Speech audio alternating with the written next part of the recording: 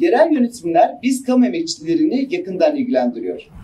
Tüzüğümüzde de yer aldığı üzere konfederasyon, konfederasyonumuz devletin ve sermayenin mutlak iktidarına, toplumun ve doğanın talan edilerek nesneleştirilmesine, insanın ve toplumun güvencesiz kılınmasına, piyasanın toplumun dokunulmazlık zırhına büründürülmesine, yaşam alanlarımız üzerinde denetim kurulmasını karşı emek ve demokrasi mücadelesini bir arada yürütmeyi esas almaktadır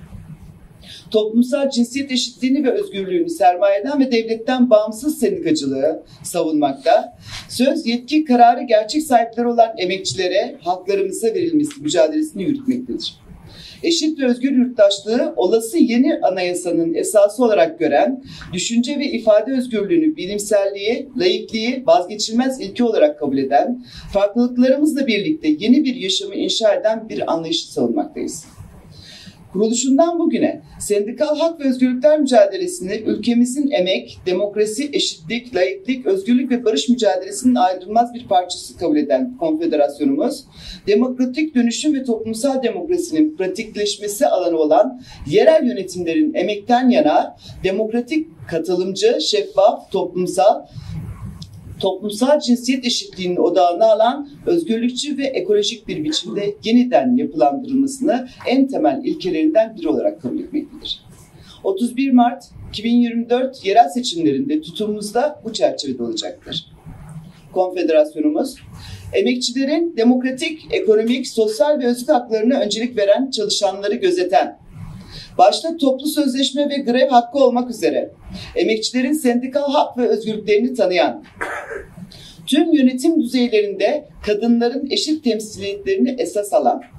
kentlerin toplumsal mülkiyeti olan komsal alanları sermayenin değil, toplum ve halk yararına kullanan,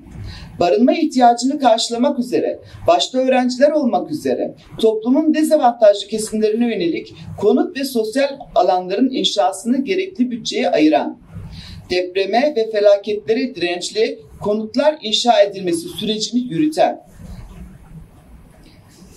karar alma ve denetleme mekanizmalarında gerçek katılımcılığı ve şeffaflığı gözeterek yönetimleri halkın katılımını açan ve geri çağırma ilkesini kabul eden, eşitlikçi ve özgürlükçü bir yaklaşım üzerinden çok kültürlü, çok dilli ve çok kimlikli yaşamı birer zenginlik olarak görerek birlikte yaşamı temel alan, kamusal hizmetleri herkes tarafından ulaşılabilir, nitelikli, eşit, parasız ve ana dilinde sunan. Yurttaşlar arasında kan bağı, cinsiyet, cinsel yönelim, yaş, din veya inanca dayalı hiçbir ayrımcılığa izin vermeyerek yerelleri eşitlik idealinin yaygınlaşma alanları olarak gören, yaşlılar, engelliler, kadınlar, gençler ve çocukların toplumsal yaşama katılımını artırmaya yönelik ücretsiz sosyal ve kültürel tesisler ile kreşler, bakım evleri ve eğitim merkezleri oluşturmayı hedefleyen, ulaşım, temiz su, altyapı, ısınma, çöp ve benzeri hizmetlerin halka doğrudan sürekli, nitelikli ve ücretsiz ulaştırılmasını birincil görevi sayan, ormanları, mera ve yaylaları betonlaşmaya, talan ve ranta karşı imara kapatan, kentsel dönüşüm ve benzeri uygulamaları rant ve talan aracı olarak değil, beraber yaşanabilir, değişik kültürlerden insanların beraber yaşayabilecekleri yerinde dönüşüm üzerinden ele alan, hayvanları ölüme terk eden her türlü barınağı, parkı kapatarak hayvan haklarını savunup gereğini yapan, yerel yönetimleri birer şirket olarak değil, halka hizmet veren kurumlar olarak gören ve yerel hizmetlerin verilmesinde kar değil, toplumsal yararı esas alan, yerel hizmetlerin sunumunda özelleştirme ve teşeronlaştırmaya karşı çıkan,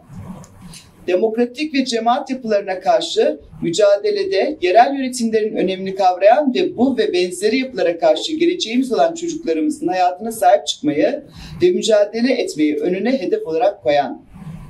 yerel yönetimlerin bütün plan ve uygulamalarını toplum merkezli, eşitlikçi ve demokratik bir biçimde hazırlamayı ve uygulamanın her aşamasında sokak, mahalle, kent meclislerine şeffaf bir şekilde hesap vermeyi taahhüt eden,